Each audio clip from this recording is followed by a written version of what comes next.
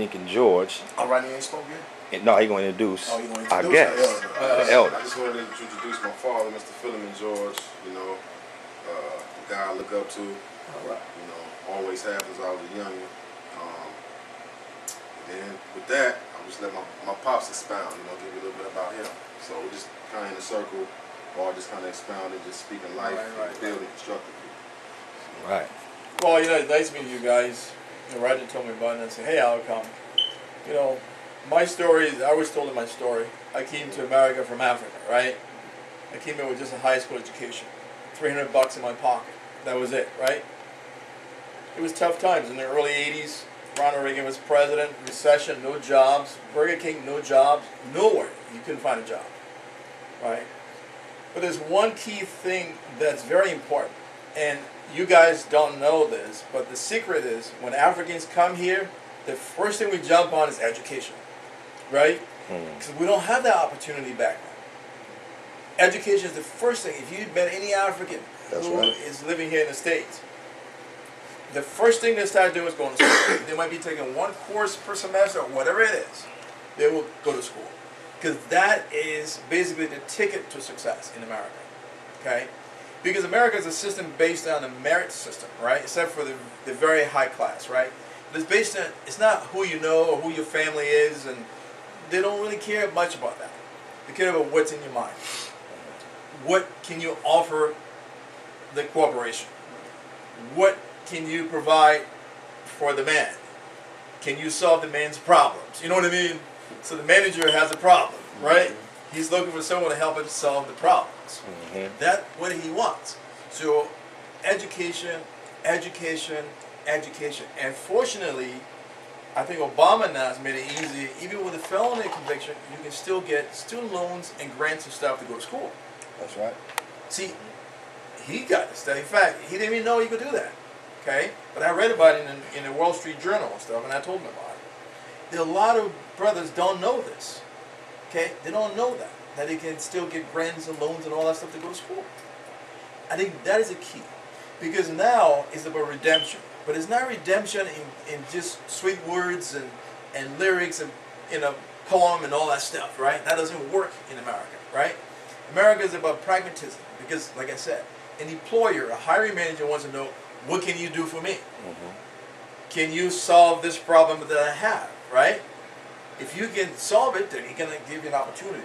Now, the challenge is for you, for most of you folks, is with with with the background now it becomes even more challenging to get into good jobs, right? It becomes astronomically challenging. How can you overcome that? The way to overcome that, I, I keep telling my son, is to change the conversation. Mm.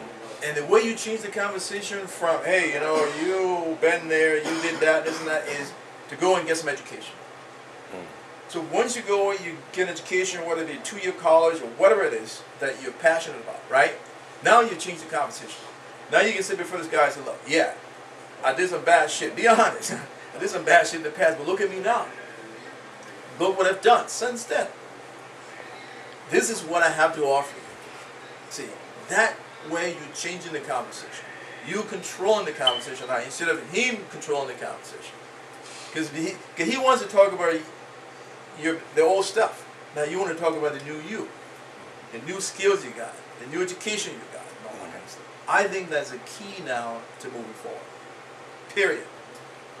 Especially here in Minnesota, because in Minnesota, the value education, the value education, the value skills.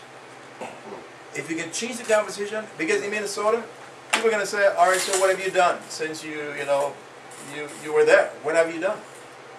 And the answer they're looking for is, "Hey, I've gone to college, or I've gone to this school, and this and that. Here's my diploma. Here's my degree." That is the answer they're looking for. Serious.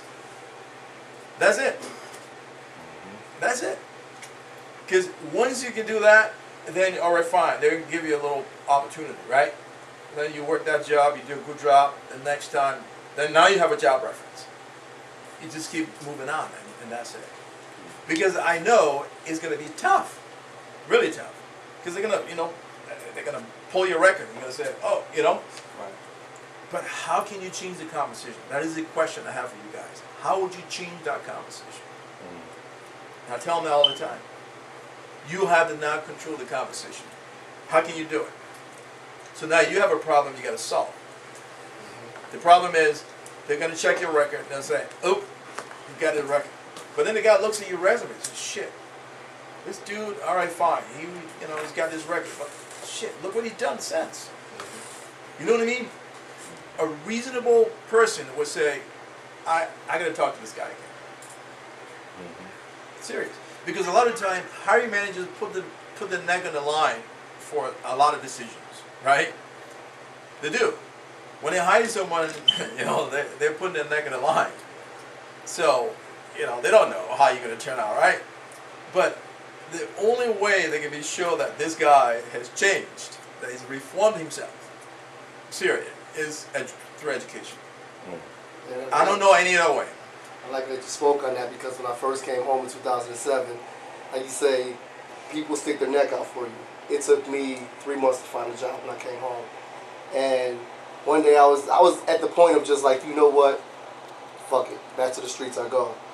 And when I said that, I got a phone call. I swear to God, I got a phone call from this guy, and he's like, "Am I talking to Mr. Sims?" And I'm like, "Yes." He's like, "Well, I got your um your application um your resume offline." and he was like, I want you to come out here and talk to me. So I was like, okay, cool. Get out to talk to him, and the company that I was working for is U.S. Tires and Exhaust. It's actually a Wisconsin family-based company, and dude stuck his neck out for me. He, it wasn't him doing the interviews. I was just submitting my application to him, my formal application. The applications go to the family Right. and the family chooses. So I have to come home. I have to tell them that you know I was in jail for second degree murder. I had to go there. There was not that. Let's talk about it upon interview, like they told us when we first came home. Let's talk about it mm-hmm. upon interview. Most people's not looking for that. They're looking for honesty because they can trust you to be honest about something in your past, what else they can trust you with? So he, um, I had to tell him, you know, I was part of a, a murder. You know, and mm-hmm. I, I was part of a murder, and I did not. I wasn't the one that pulled the trigger, but I'm as I'm as guilty as him. Like I said, it took me mm-hmm. ten years in my prison time to say that because we're not living. Because just because I say I didn't do it, mm-hmm. Doesn't mean society thinks that. Society wanted to put me there.